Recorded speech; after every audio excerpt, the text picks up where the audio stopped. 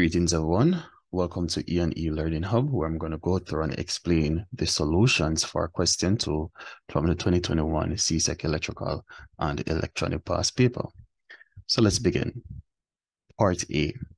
It says, in this space provided, draw a standard electrical slash electronic symbol of the components listed. All right, so part one of A, DC voltmeter. So this is the symbol for the DC voltmeter. Part two, Zener diode. So this is what the Zener diode look like. Electrical bell for part three. This is a symbol. For part four, JK flip-flop. This is what it looks like. Part five, AC motor. All right, so this is the symbol for the AC motor. And uh, part six, the double pole single throw switch. All right, so these are the symbols. All right, so that's it for part A. So let's move on to part B now.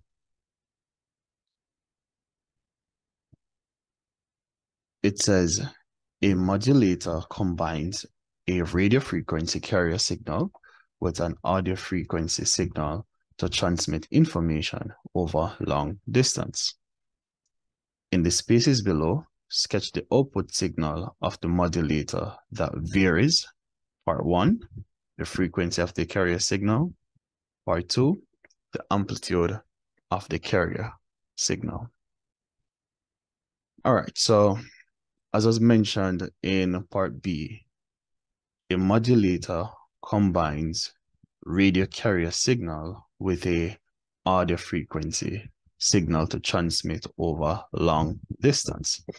And that is why persons are able to listen to the radio from miles and miles because the signal, or in this case, the audio signal is being modulated with a carrier signal. So the carrier signal is what basically carries the audio signal. Hence why it's called a carrier signal. Now, there are two types of modulation that we're going to be focusing on. So we have the frequency modulation. So with the frequency modulation, we have a carrier signal and the information signal.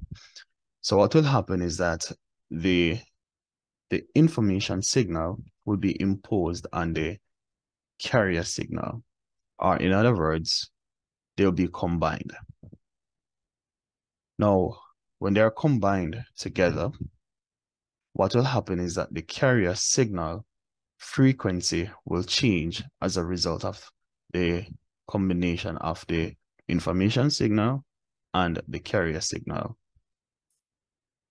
And what you will get after that is the frequency modulated signal, which is this waveform here or this signal.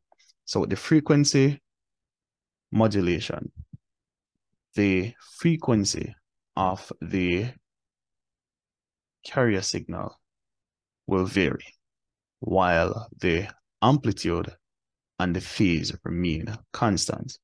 All right, so for this question, what was given is the carrier signal, and we had to add the information signal and the frequency modulated signal.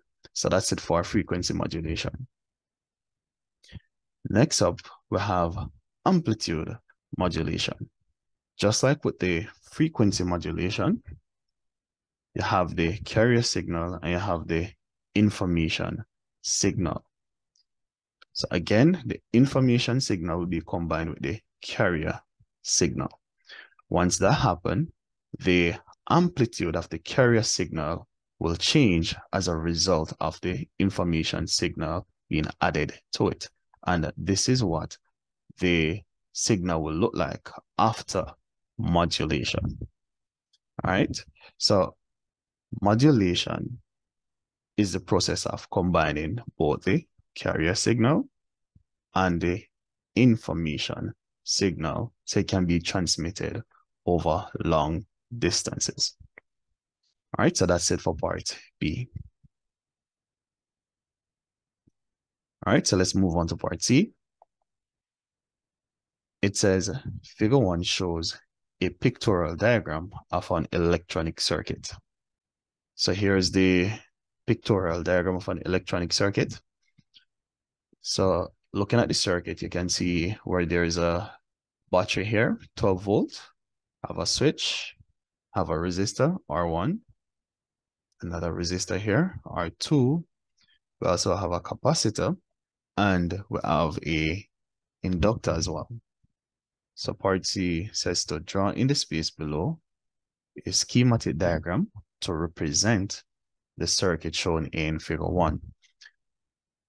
So here is the schematic diagram. Now remember, a schematic diagram uses single line and graphical symbols to represent the actual components.